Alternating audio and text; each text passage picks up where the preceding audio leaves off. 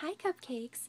So um, this is my first uh, YouTube video and I thought I would just do a mini kind of vlogging type iPhone one to start off before I did um, makeup videos.